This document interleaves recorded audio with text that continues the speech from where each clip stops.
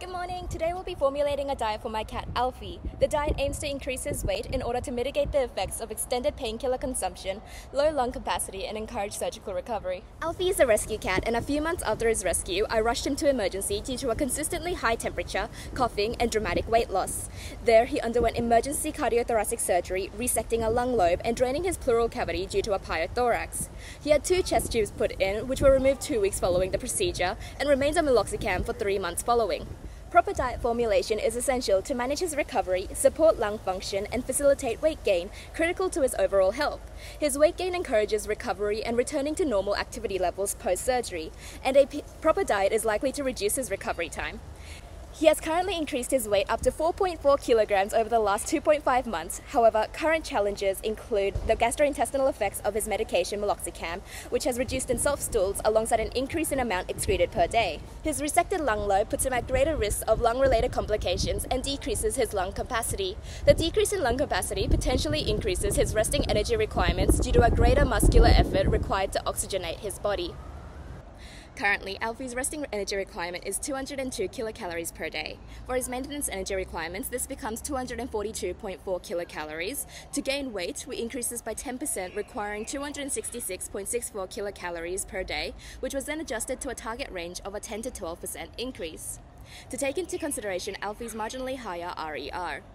However, it is important to not exceed this predicted dry matter intake as doing so risks undermining Alfie's recovery as surplus intake can lead to nutrient imbalances and promote unwarranted weight gain beyond his therapeutic needs. Therefore, closely monitoring his actual DMI remains essential in this diet plan. Pet Diet Designer was used for this project considering its precision in nutrient balancing and flexibility to calculate nutrients on a dry matter basis, aligning with the industry standards of NRC recommendations.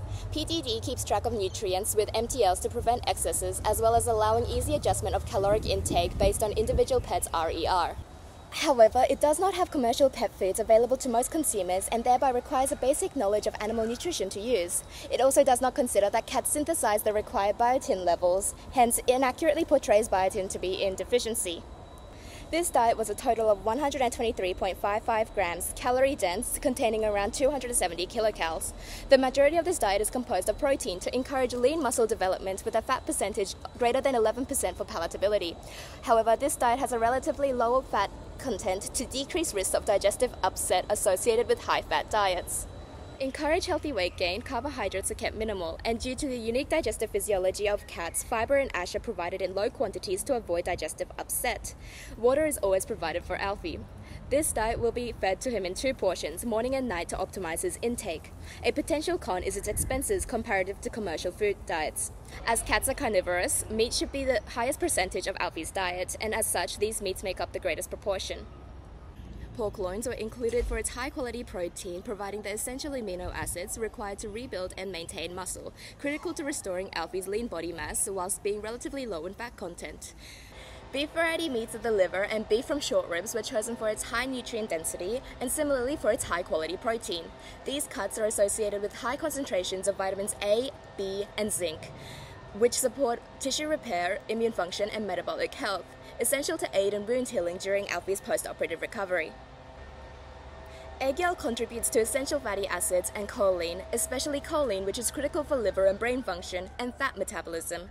This is particularly important as Alfie is on a higher calorie diet for weight gain, and appropriate choline intake will maximize this gain. However, only 9.2 grams was added due to its high caloric profile to ensure Alfie's caloric intake remains within our target limits, the consequences of which were mentioned earlier. Spinach and kale were added with 15 and 5 grams respectively for its rich vitamin and mineral profile and fibrous nature, specifically high concentrations of vitamin K, iron, and magnesium. These leafy greens inputted the required fiber of Alfie's diet and limited in their amounts to keep fiber low.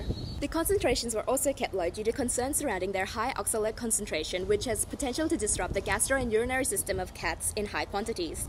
The following were added in sparing concentrations due to their highly skewed nutritional profiles. Wheat germ oil boosted vitamin E within the diet, while taurine powder was added to provide taurine, which is an essential amino acid for cats as they cannot synthesize it, and they require it to produce bile acid. Kelp powder was included to meet iodine requirements. Bone meal and crushed eggshell were added in combination to meet FEDIAF's recommended calcium to phosphorus ratio, whereas salmon oil was included to optimize the EPA to DHA ratio. The CA to P ratio is important to ensure correct absorption of minerals provided, whereas the EPA to DHA ratio is critical to controlling inflammation, especially prudent given Alfie's past surgical history and his current painkiller regime. Alfie's diet adheres to FEDIAF standards and should be closely monitored to reach but not exceed his target weight. If weight gain stalls, we should consider a more calorie dense diet or reassess the impact of painkillers on his nutrient absorption. Once his target weight is achieved, Alfie will transition to a maintenance diet for ongoing health and weight management.